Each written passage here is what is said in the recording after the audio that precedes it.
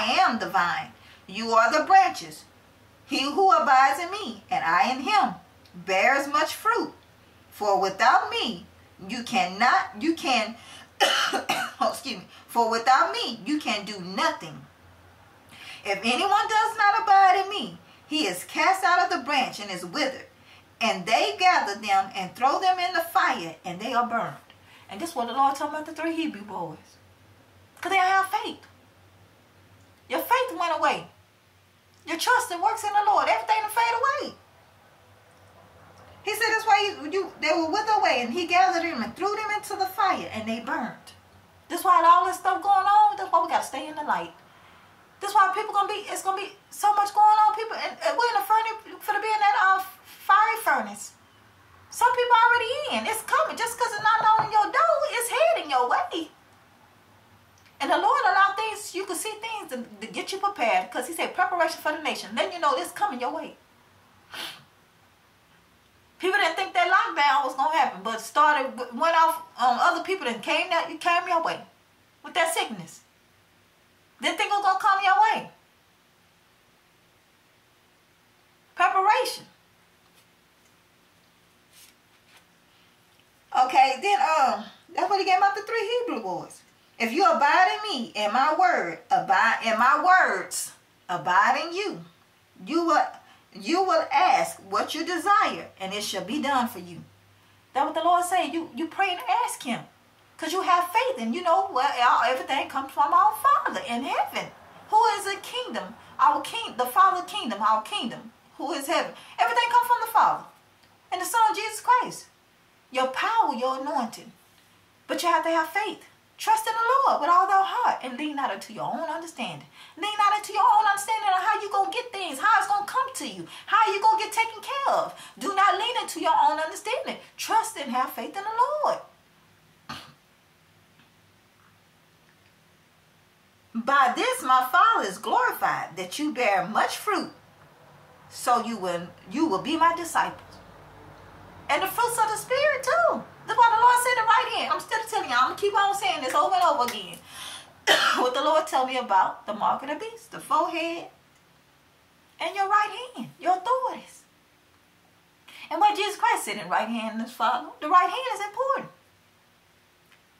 You know, and what Satan want to take away your whole, wipe you all, everything away from Christ from you. He trying to do it over the whole world, but also you as a church. Your building. He already got them in the church houses in the building doing this. Not all of them. And some in the church houses. And the Lord shut them down when the sickness came. And gave people sit down to get retaught and to uh, self-examine themselves. But some people didn't. They went all back out there. He done put everybody on lockdown out of Egypt. Give them time to think about it before the storm really was coming. And people still went out there. Now what God said, people ain't learning. Some still complaining. Okay, then let's go. Um, as the Father loved me, I also have loved you. Abide in my love. If you keep my commandments, you will abide in my love, just as I had kept my Father's commandments and abide in his love. Well, just say I had to do it for my Father. We have to have faith and trust and believe in the Father. I had to do this. He said I had to do this too in order to live right, I have to walk by the Lord's law and commandments in order for all these works and powers and miracles and raise from the dead. All this had to come. I had to do this too to get this. But that's what people want to do. They want everybody ain't walking with the Spirit of the Lord. And He granted us when He gave us the Holy Spirit when Jesus Christ died. And that's the love. And the joy we have. That's what God said, Count it our joy because we're blessed to receive this that this man died for our sins. The, the most high gave this man this this this, thing, this spirit gave us the spirit say on picking of you and gave us the holy spirit. Let this man sacrifice himself gave us the holy spirit. We're blessed. That man loved us enough. Our father first he loved us before we loved him. Most high loved us first before we loved him Gave us his son, Jesus Christ, to help the helper, the savior. He was helping and saving them then. And then now they killed him And then he's still helping and saving us now, the Holy Spirit. And we're trying to help and save other people through the Holy Spirit that Jesus Christ residing in. And guess what they're going to do to you? Same thing they did to Jesus Christ. they don't want to be, people don't want to be corrected. They'll kill you. They don't want you to go against their sins. That's why they, they killed Jesus Christ. Keep my father, okay. I have kept my father's commandment and abide in his love. These things I have spoken to you, that my joy may remain in you, and that your joy may be full. This is my commandment, that you love one another as I loved you. Greater love has no one than this, than to lay down one's life for his friends. And how you lay down your life? You give your life to Jesus Christ. Just like Jesus Christ was crucified, died for our sins. We're doing that too. We're going to get killed. That's what God said, persecuted. We're laying down our life for our friends to speak the truth. Just like Jesus Christ, you, you, you died to save people, to wake people up. To remove, to tell them about sins, to come in and introduce them to the kingdom of heaven. That's why the Lord said, Satan don't want nobody to know about the kingdom of heaven. Our king, who you are, he don't want you to know about that. Because once people know who our Father is, the kingdom, where he from, what he did for us, and his love for us, and his Son Jesus Christ died for our sins inside of us, Satan knock you off. That's why we fight all day. But it ain't, he ain't fighting about your works or nothing. What he fighting is in your faith. Because once he know you don't know who you is, then you ain't got to worry about your right hand. You ain't got to know all these things come to you. You gotta know, you ain't gonna know if you don't know who your father is and your king the kingdom you come from and your righteousness and and your holiness and, and uh who, what all added to you and where what all this power come in from, your power. Once you wipe the faith and your father from you, you don't even know how powerful you are. you don't know how powerful you are. What all come along with you. You're right hand. So he come at this. That's why I say you're fully. Y'all, so let's keep on. This is my commandments, that you love one another as I loved you. Greater love has no one than this, than to lay down one's life for his friends. You are my you are my friends. If you do whatever I command you, no longer do I call you servants, for a servant does not know what his master is doing, but I called you friends. This is why the Lord say, you are no, when you walk with me, you're no longer a servant. You're my friend, because he laid his life down for us. And so this why some even when the worldly things, how some people get that all mixed up. They'll ride out with their friends if they wrong or right. I mean, uh, when they wrong. I understand riding out with your friend when they right, right is right, wrong is wrong. But they'll ride out with their friends when they wrong. And then the innocent person get killed. The one riding out for their friend, they get killed, involving in wrongness. It's always somebody like that. And then they'll say, oh, he sacrificed himself for them. That's why also you got to be careful this sacrificial stuff because it's Satan. Sacrificing. How people sacrificing their kids and everything. Selling their soul to the devil. For the wrong friend. When the Lord say, who your friend? And you go with the wrong friend, and what God said, be careful what company you keep. Be careful what around evil counsels. What friendship, what, what company you keeping. Be careful your friends you keep.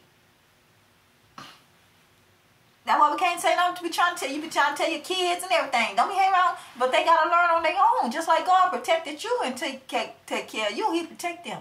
Cause first they was your, they was His children before they were yours. Y'all had to learn that. Lord, these are your kids. Before, I can't. Lord, I'm giving them to you. I trust you because you over you able to take care of everybody. They your children before they were mine. So also your friends, call friends, for all things that I heard from my Father I have made known to you. You did not choose me, but I choose you, and appointed you that you should go and bear fruit, that your fruit should remain, and that whatever you ask the Father in my name, he will give you. These things I commanded you, to command you, that you love one another. And that's what the Lord said, your brethren, but your brothers and sisters. And he also say love your enemy. But he ain't say you don't hang out with them either. What company you keep? People riding out for folks. They call them their friends and backstab them. Gonna People say people gonna turn you, ain't gonna kill you, persecute you. Y'all know people envy. Because people, God say, look at the test of the spirits. What spirit behind people? You gotta be careful what company you keep. Same people gonna persecute you, kill you, everything. Everybody ain't your friend. Everything that glitter ain't gold.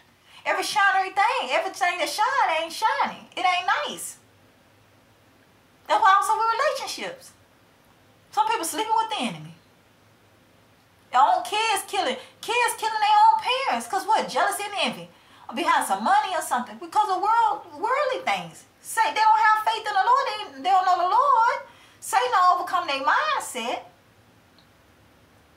That's why God said you resist the devil and he will flee. Things come, even as we walking with the Lord, things will come your way. Satan will try to throw something in your mind. You got to rebuke it.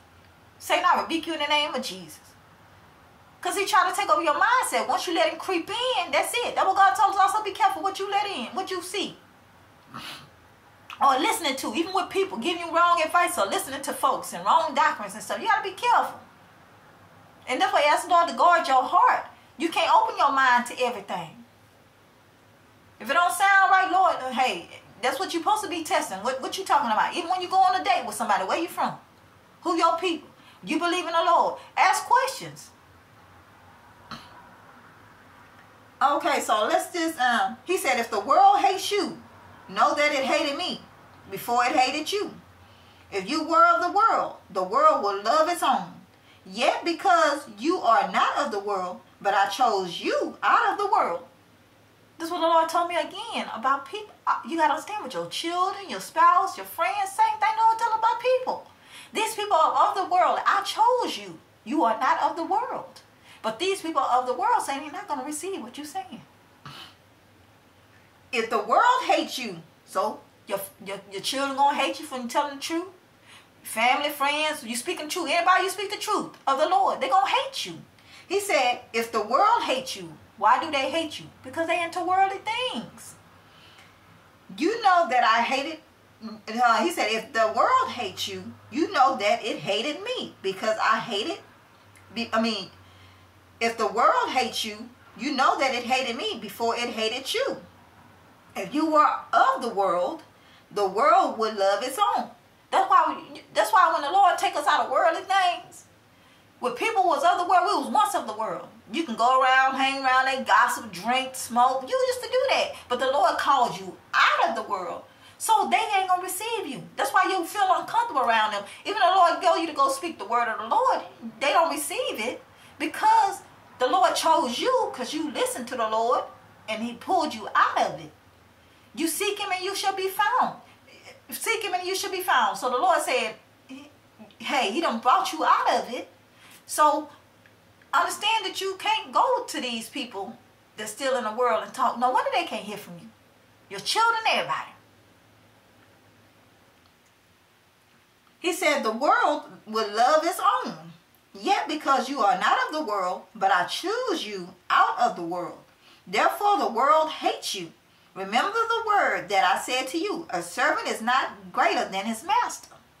If they persecute me, persecuted me, then they will also persecute you. If they keep my word, they will keep you also. So they're not going to keep you.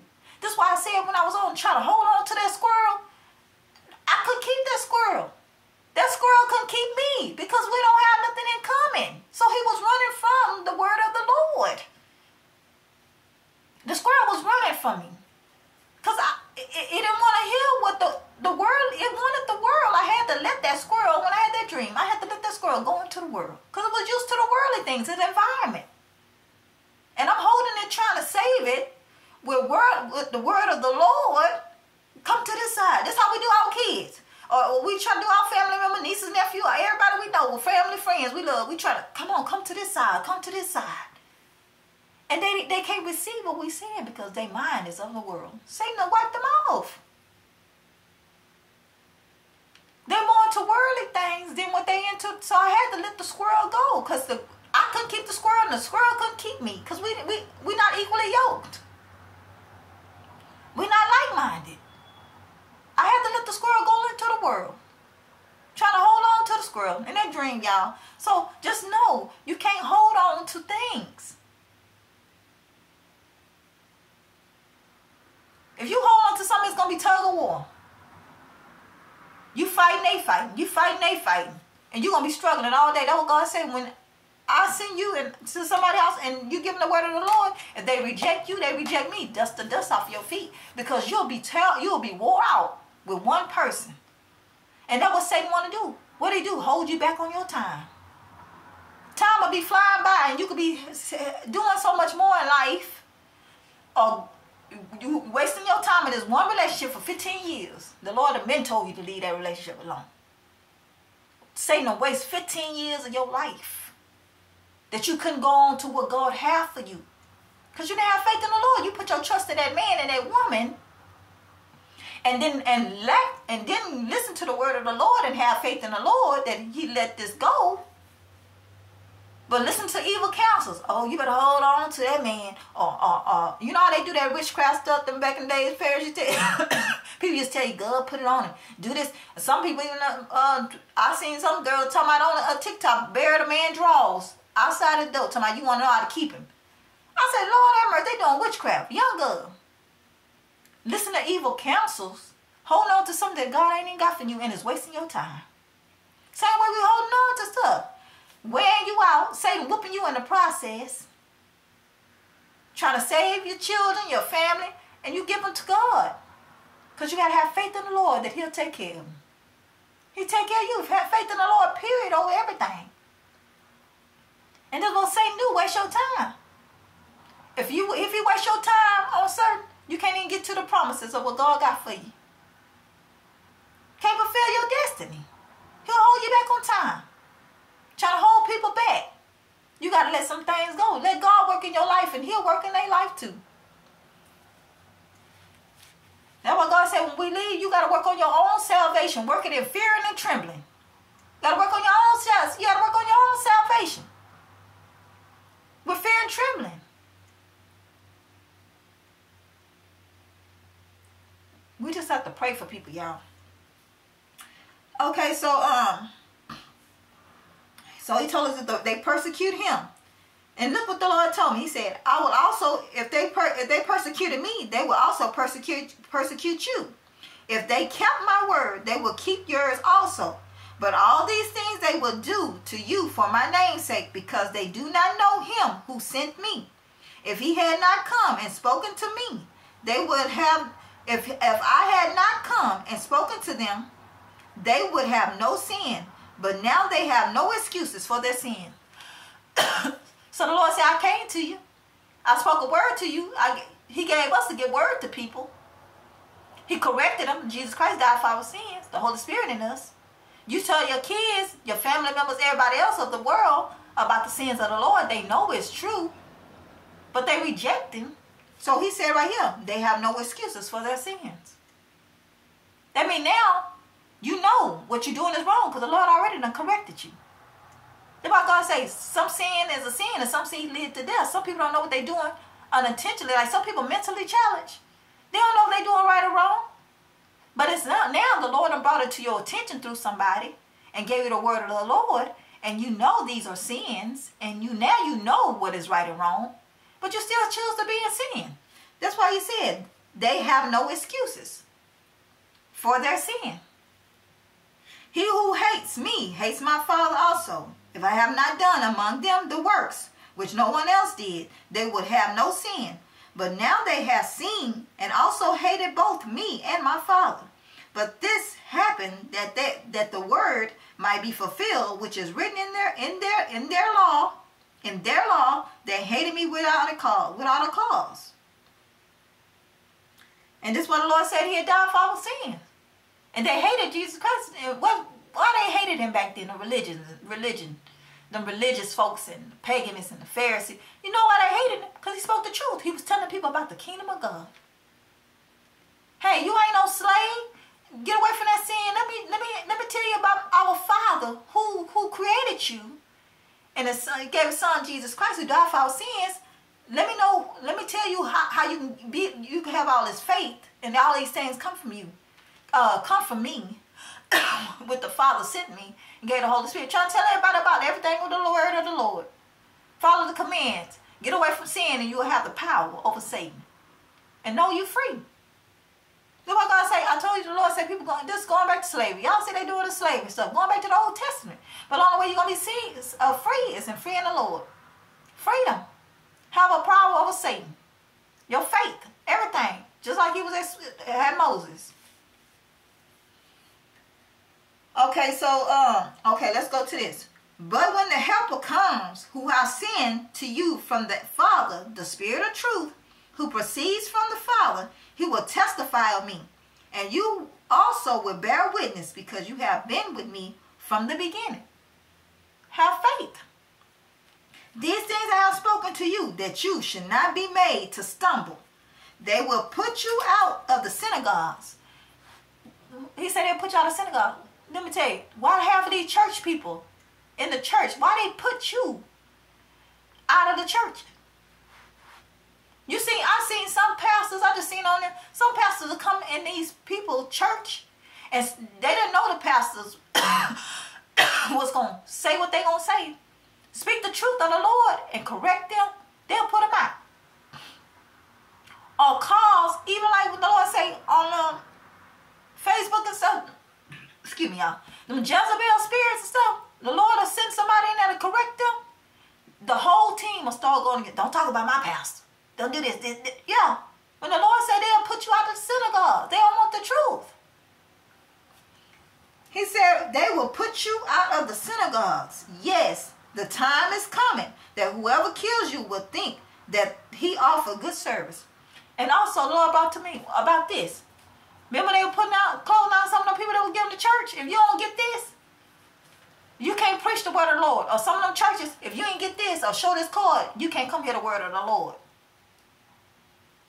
Satan. Have you to feel like you got to have this and have faith in this, which is con uh, connected to Satan, that he have authority only to hear the word of the Lord, and the Lord can speak to you right in your own home, wherever you go. The Lord is with you. Holy Spirit. Putting you out. You, I ain't even want, I don't want to even go to that church anyway if I got to receive that, because you ain't hearing for the word of the Lord, because now you putting your faith in this. And I got to have this to give the word of the Lord, and the Lord Jesus Christ giving the word for free. With nothing, I didn't have to take anything to receive, just uh, uh, remove myself from the sins to know that I'm free, that who our king is and the kingdom, to know that I'm free from slavery mentality, slave from sin. Y'all, it just shows so much. He said they will put you out of synagogues. Yes, the time is coming to whomever kills you would think that he offers, good, offers God's service.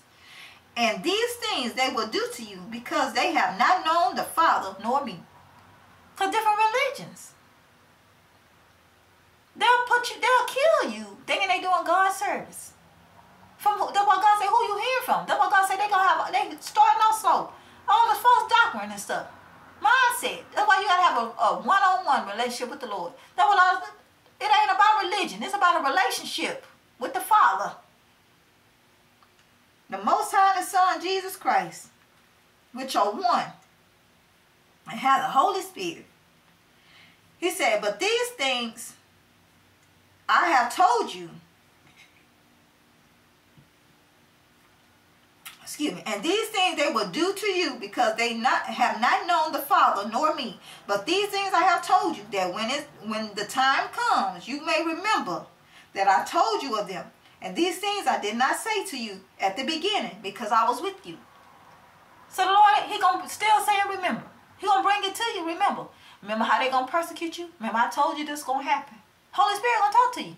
Remember I told you, he said I was there for you with the be not from the beginning, but also with you now. Look what spirit this is now. Look at the discernment. This, did I tell you this? This is what the Lord gonna teach you was false doctrines, false teachers, false leaders, the Holy Spirit. What to do. That's why you have to be in with obedience. You gotta have faith in the Lord to do obedience. Obedience is better than sacrifice. Because also Satan come against your mindset, what he do? Manipulation. Manipulation is a sign of witchcraft. That's what they all been doing on this stuff. Satan, sources, mind manipulation. Manipulation. Manipulation, sign of witchcraft. Relationships, Jezebel, everything come against your mindset. And it come terrorize your mindset you let in. No, wipe away, want to wipe away Jesus Christ. Jesus Christ. the Most High Son, Jesus Christ. So the Lord gave me that, John 15. And the Lord told me, uh, we shouldn't have faith in no man but the Lord. Putting your faith in men, they will control your belief system. This is why we get hurt, disappointed, deceived, misled, and etc. Many people put their faith in their pastor, spouse, things, money, and etc. People don't and never take out time to know God for themselves. The one say people don't take out time to know the Lord for themselves. They just want to hear what somebody say they go on their word. The move you know, I mean, the more you know about God, the bigger your faith becomes. People look at, uh, they look at for security and everything else except God. Look at security and everything else. And God is our security. He's going to protect us. He everything. As soon as that pastor and everything fell, uh, everything else will fall except God. God said everything will pass away. Only thing what's going to last is his word. It's going to be him, the son, Jesus Christ, and the word. Holy Spirit. The word of God. He said the earth and everything will fade away, but his word will stand. And then what the Lord told me, some people trust they trust in miracles, and they said, and as soon as the Lord don't give a miracle, they trust God. They, they don't have faith in the Lord. Because they that's what God said.